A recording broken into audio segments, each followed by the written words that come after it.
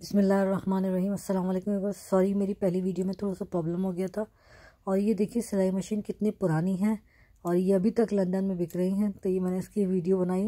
मुझे बड़ा अच्छा लगा कि मैंने कहा, कितनी पुरानी सिलाई मशीन अभी तक यहाँ बिक रही हैं। और ये जो घर है, ये सर आइजक न्यूटॉन का घर है। और ये बहुत बड़े साइंटिस्ट थे। ये सेंट्रल लंदन में उनके घर के बाहर की तस्वीरें हैं और वीडियो हैं। सर आइजक न्यूटॉन जो हैं। ये साइकिल स्टैंड जो है रेलवे स्टेशन पर है। इस तरह के तीन से चार यहाँ पे स्टैंड्स हैं और यहाँ पे लोग अपनी साइकिलें पार्क कर देते हैं और यहाँ से दूसरे शहरों में जाते हैं ट्रेनों में। तो ये साइकिल स्टैंड बहुत बड़ा है और काफ़ी है यहाँ पे इस तरह के।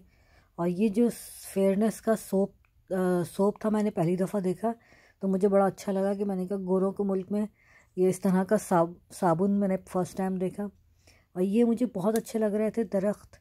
कि पूरे रेड कलर के थे और लाइन से बहुत बड़ी तादाद में लगे हुए थे। और ये एक बिल्डिंग है जो पूरी फ्लावर से डेकोरेट की हुई थी और ये बिल्डिंग बहुत अच्छी लग रही थी देखने में। और ये जो है मटर हैं, मटर के छिलके हैं बेसिकली और ये जो है यहाँ पे बिक रहे होते तकरीबन दो पाउंड के और लोग इसको खानों में इस्तेमाल करते हैं। और ये जो साइकिलें हैं, ये दूसरी टाइप की साइकिलें हैं, ये आपको किराए पे मिल जाती हैं। आप इससे सेंट्रल लंदन में घूम सकते हैं और बासानी कहीं भी पार्क कर देते हैं।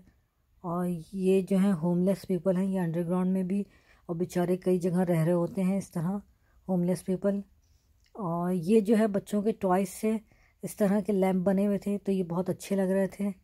ये इस तरह के जो बच्चों के छोटे टॉयज़ होते हैं, उससे उन्होंने पूरा लैम्प बनाए हुए थे।